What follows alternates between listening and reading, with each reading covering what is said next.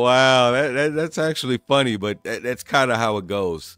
You see, the thing is, women will make these videos, sit around, they're so you know so hurt, so they're crying and all this.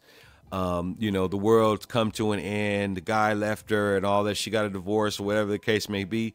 But the fact is, it doesn't stop what they're doing. It doesn't stop their life. It doesn't stop them from getting on a, a yacht. It doesn't stop them from wearing hardly no clothes, going to a club, attaching to a guy and having sex with them. None of that stops. I think a lot of times when women post videos with them crying and all that, it's because they don't have control anymore.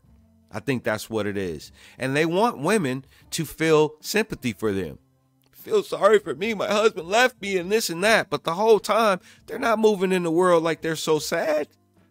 Usually, when divorces happen, breakups happen, the guys are usually the ones sitting there mulling, mulling in their own shit. Heartbroken, can't focus because men just can't walk out there and replace the woman that he was with, not in a meaningful way.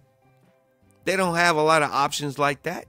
But women, all they have to do is put on some nice clothes, put on some nice perfume, stick everything out, get with the girlfriends, go to a club, and bam!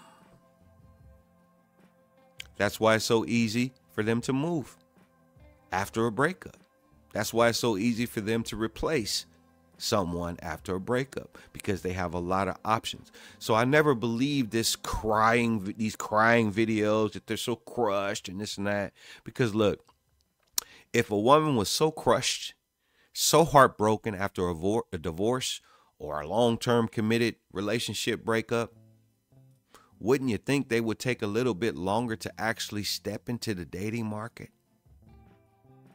But they don't, do they? It's instant. And they have cheerleaders. Oh, girl, I'm going to hook you up with Tyrone. I'm going to hook you up with Chad. I got somebody in mind. Or, you know, that guy that was in my friend zone for the longest time? I think I'm to give him a chance. Come on now. That's why I don't believe these videos.